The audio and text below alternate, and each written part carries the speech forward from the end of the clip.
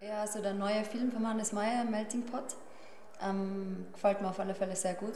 Ich glaube, dass der Hannes es gut rüberbringt, wie die Innsbrucker Kletterszene so tickt und wie freundschaftlich das Ganze eigentlich abläuft. Und deshalb kann ich mich schon in dem Film wiederfinden. Ja, ich denke mal, dass Melting Pot äh, sehr gut gelungen ist, der Film von Hannes Meyer. Er zeigt Teile der Innsbrucker Kletterszene.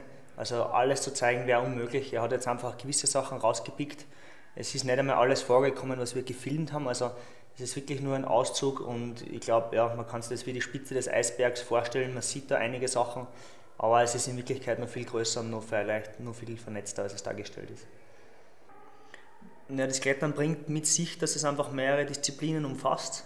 Und wenn man jetzt in einer sehr gut ist, sagen wir jetzt bei mir das Bouldern, ist klar, dass man den anderen jetzt vielleicht nicht auch auf dem hohen Level ist, aber es fällt natürlich leichter, dort auch recht gut zu sein. Und so habe ich genutzt, meine Stärke aus dem Bouldern auf das Vorstiegs- oder Seilklettern umzulegen und dann die gewisse Stärke wieder in das alpine Sportklettern, was ich jetzt eher weniger mache.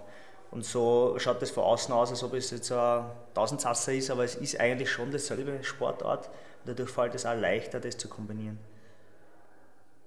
Ich kann das Klettern als Frau jetzt nicht mit einer anderen Sportart als Frau vergleichen, sondern nur am Klettern an sich, weil das mein Sport ist.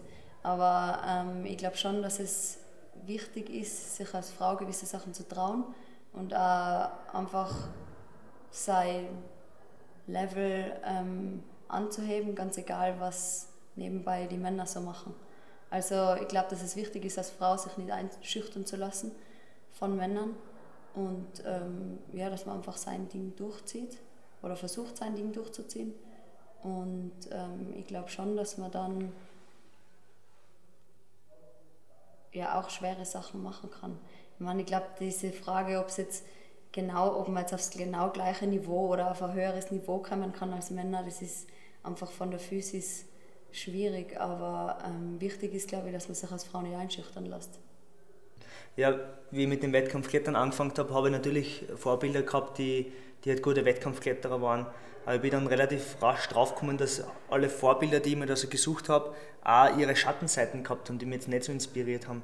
Und seitdem ist für mich eine Vorbildrolle immer aufgeteilt auf mehrere Personen. Also mir inspiriert, wie Ayushi Hirayama immer mit einem Lachen runtergekommen ist, vom Felsklettern oder beim äh, Wettkampfklettern.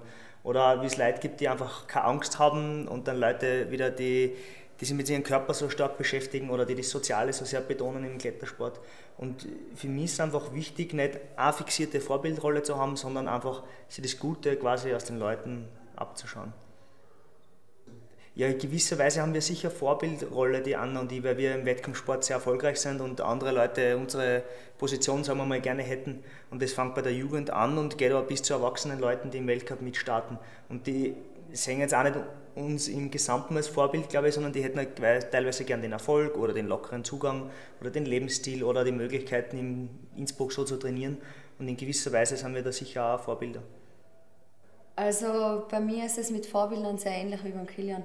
Es ist so, dass es ähm, Leute gibt, die mich inspirieren, von denen ich mir Sachen abschauen kann, aber im Endeffekt will ich meinen eigenen Weg gehen und ähm, ja, schauen, wie ich das Beste daraus machen kann eigentlich.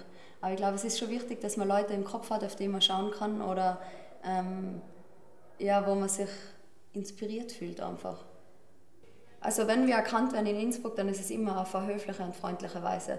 Es ist so, dass die Leute sagen, war gratuliere zu deinen letzten Erfolgen oder cool, was du so machst. Und ähm, das ist eigentlich immer ja, irgendwie eine nette Art, wo man sich denkt, war ganz cool eigentlich. Also es ist jetzt nie so, dass man sich denkt, ah, voll nervig, der kennt mich jetzt schon wieder oder so. Also so ein Hype wie Skifahrer zum Beispiel haben wir einfach nicht und da bin ich eigentlich auch froh drum.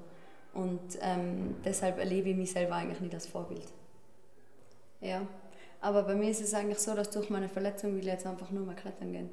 Also ich bin jetzt seit zwei Monaten daheim gesessen und da haben wir die ganze Zeit gedacht, boah, das Liebste, was ich tun würde, ist klettern gehen. Und ja, ich freue mich jetzt einfach drauf, wenn ich das wieder machen kann. Egal, wo der Peak dann ist. Egal wie, ich meine, natürlich will man dann ein gewisses Level, vor allem im Wettkampf. Dadurch, dass man weiß, man kann gewinnen, will man da wieder zurück. Aber ähm, insgesamt geht es mir jetzt eigentlich darum, dass ich wieder klettern gehen kann. Ich weiß es nicht. Also ich hoffe, dass man eine gewisse Motivation erhält, um dann immer noch zu klettern, aber wenn mir in 20 Jahren das Klettern nicht mehr taugt, dann wird man andere Sportart taugen, oder? Es wichtig ist, dass einem das Spaß macht und dass man wo aufgeht und dass man sich irgendwo seine Erfüllung holt. Und ob das dann Klettern ist oder Kitesurfen oder Schachspielen, das ist ganz egal. Ähm, ich denke mal, es ist inspirierend, wie solche Leute wie der Gerd oder der Bert das über so lange Zeit aufrechterhalten haben. Und wie es für mich selber ist, weiß nicht, wird noch ein bisschen dauern, bis ich das beantworten kann. Also ich, ich vertrete seit längerer Zeit die Meinung, dass der, der schwierigste Kletterzug an sich, der einzelne Zug, jetzt nicht so viel schwieriger werden wird, als er jetzt ist, weil sich das anatomisch und physisch einfach schwer ausgeht, dass er doppelt so schwer ist. Ja. Aber es ist ganz leicht, die Anzahl dieser schwierigen Züge, die am Limit sind, zu verdoppeln jetzt. Ja. Das heißt, ich kann aus 9b plus sicher mal 9c, 9c plus 10a machen. Ja. Das wird sicher mal der Fall sein. Wie schnell es geht, weiß ich nicht, aber die Jungs arbeiten hart dran und es geht auch echt viel weiter. Aber es wird sicher über die Länge der Boulder oder der Sportkletterrouten entschieden.